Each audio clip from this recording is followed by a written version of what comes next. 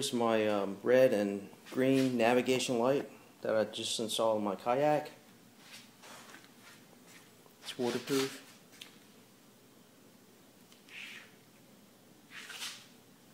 Very clean.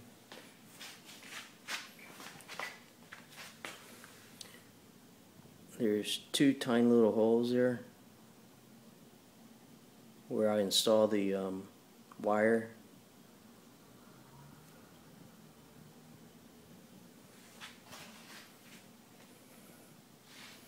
Alright, I'm going to turn it on for you.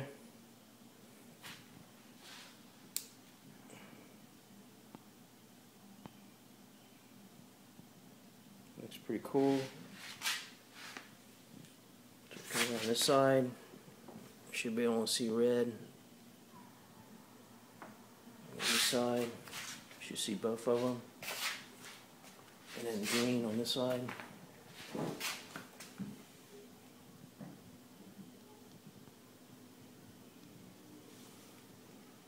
Alright. Finished product.